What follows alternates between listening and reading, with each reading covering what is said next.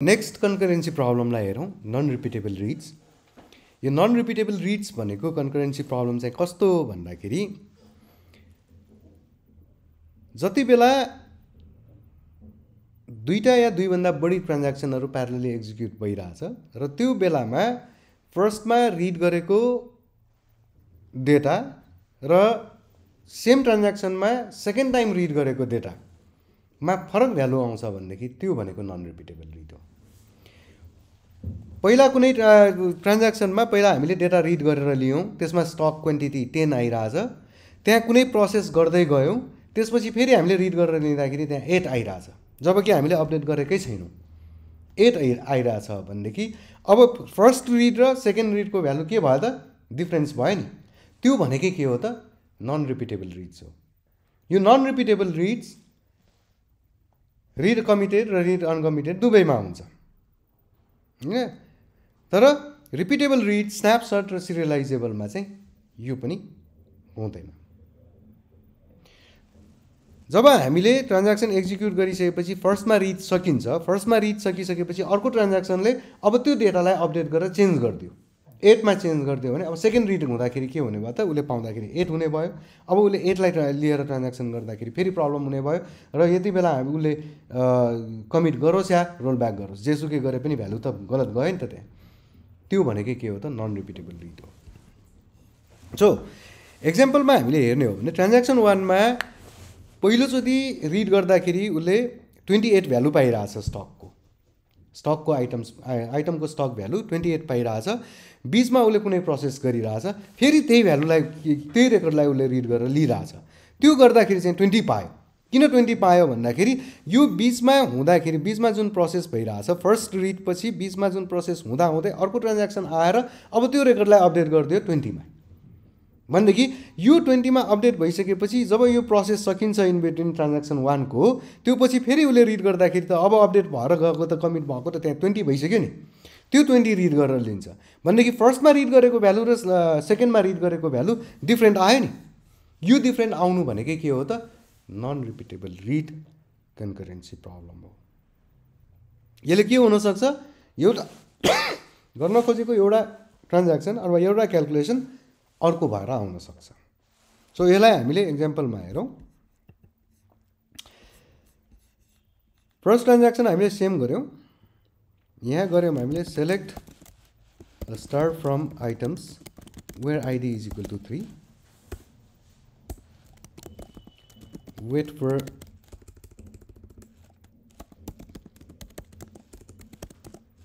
delay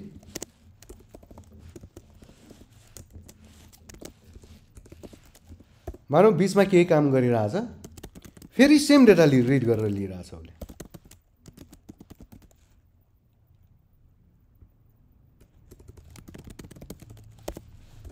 ठिक। त्यही कुरो अब ट्रान्ज्याक्सन टूमा यसलाई एकछिन कमेन्ट गऱ्यो ट्रान्ज्याक्सन टूमा चाहिँ update items set stock quantity is equal to हामीसँग कति एटिन गऱ्यो भने। अहिले कति छ हेरौँ पहिला। सेभेन्टिन छ यसलाई ट्वेन्टीमै फेरि रिइनिसियलाइज गरौँ। कन्फर्म गरौँ यसमा ट्वेन्टी नै छ। अब सेकेन्ड ट्रान्ज्याक्सनले चाहिँ के गरिरहेछ त? क्वान्टिटी एटिनमा अपडेट गरिरहेछ। अब हामीले यही बेलामा फर्स्ट ट्रान्ज्याक्सन एक्जिक्युट गऱ्यौँ। है। पनि एकछिन यो गरौँ। रिपिटेबल रिडमा त प्रब्लम दिँदैन फेरि रिपिटेबल रिडलाई हटाइदिउँ। यसलाई रिड कमिटेड गरौँ। सो यहाँ पनि रिड कमिटेड गरौँ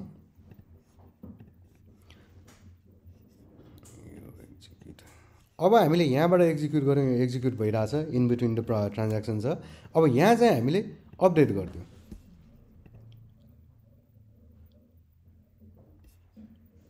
अपडेट गरिदिउँ। अब हेर्नुहोस् फर्स्ट रिडमा उसले भ्यालु कति पाइरहेछ ट्वेन्टी पाइरहेछ यहाँ केही प्रोसेस गरिरहेको थियो बिचमा। त्यही बेलामा यो ट्रान्ज्याक्सन टू आएर के गरिदियो त?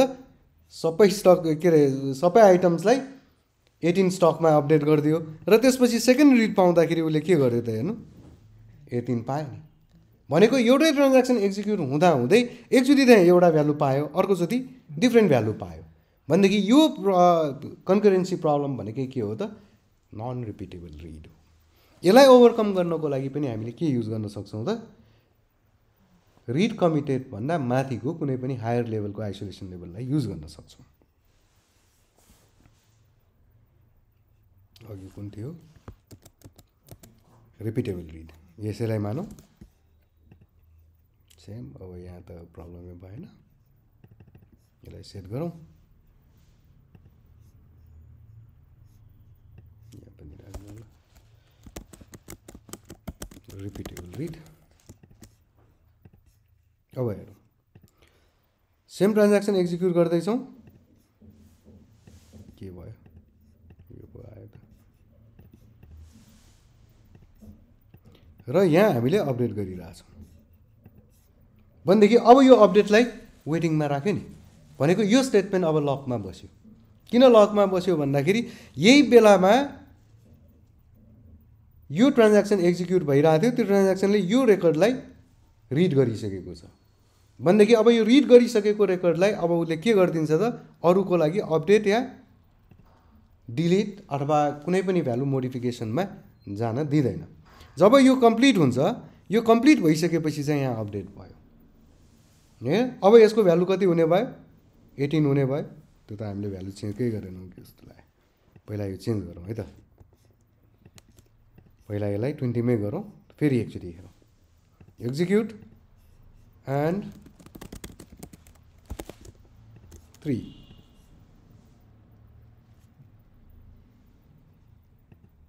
हो यहाँ ट्वेन्टी ट्वेन्टी नै रिड गरिरहेछ दुवैचोटि अब फर्स्टमा पनि ट्वेन्टी रिड गरिरहेछ यहाँ केही काम गरिरहेछ यहाँ सेकेन्ड रिडमा पनि ट्वेन्टी नै आयो।